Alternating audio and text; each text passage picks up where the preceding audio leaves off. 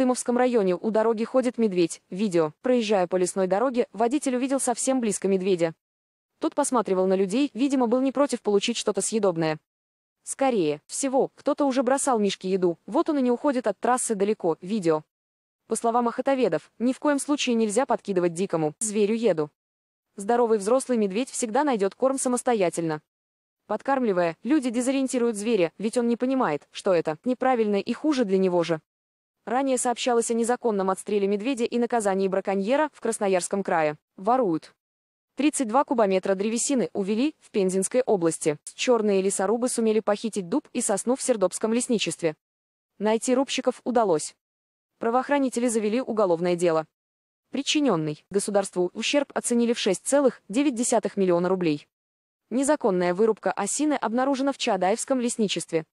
Ущерб оценили в 14 тысяч рублей. Браконьеры пока не найдены, сообщили в канале. Стальная смерть. В Британии дети убивают животных из рогаток. Бездумное поведение подростков с рогатками, стреляющими металлическими шариками, шокирует людей.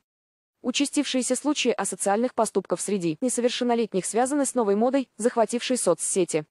Изувечив или убив животное, варвары фиксируют дело своих рук и помещают его на страницу на всеобщее обозрение. Так, в Мейдстоне был убит павлин. В него выстрелил из рогатки 20 раз. В Шапертоне убиты 5 лебедей, один. Лебедь выжил, но потерял глаз. Убивают белок, котов, птиц, косуль, собак. Как показывают записи с камер возле домов, подростки ходят группами и зверски калечат беззащитных животных. Стреляют по окнам, машинам и по всему, что им понравится. Количество нападений с каждым годом растет. Малолетние изверги покупают рогатки через интернет без всяких ограничений. В полиции заявляют, что принимают меры в отношении этих детей. Рогатки отбирают у тех, кого успевают застать на месте. В одном душераздирающем видео двое подростков хвастаются тем, что застрелили лису, а один из них говорит «Окей, мальчики, стальной выстрел в голову». По словам ведущего специалиста по охране дикой природы Джеффа Эдмонда, убийство из рогаток стало новой модой у части подростков, делающих это ради спортивного интереса. Власти намерены внести поправки в законы, объявив рогатки незаконным оружием, которое не должно использоваться, пишет dailymail.co.uk News. На Сахалине медведи ходят по излюбленным местам. По традиции, приходя к месту захоронения, люди оставляют конфеты, печенье. Угостившись раз, медведь будет постоянно возвращаться к этой территории в надежде вновь найти что-то вкусное. Поэтому нельзя раскладывать еду и прикармливать хищников. Но совету мало кто следует. Традиции чтут.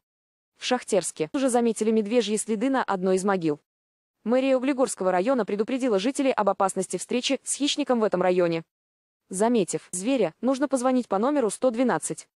По возможности выберите верную тактику поведения, не бегите, не смотрите в глаза медведю пристально, отступайте, медленно пятясь. Медведь боится резких звуков.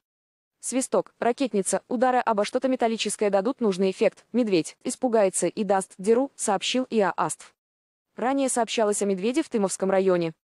Зверь караулит проезжающих по дороге. Во Флориде на улице поймали аллигатора. Ужасная рептилия двигалась днем по шоссе в городе Джексонвиль.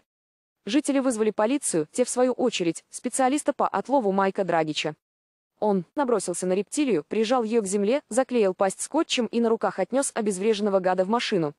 Полицейские поблагодарили специалиста за профессионализм и быстроту, пишет USToday.com. Ранее сообщалось о поимке аллигатора в Южной Каролине. Он весил 445 килограммов, а в его брюхе нашли собачьи жетоны и свечу зажигания.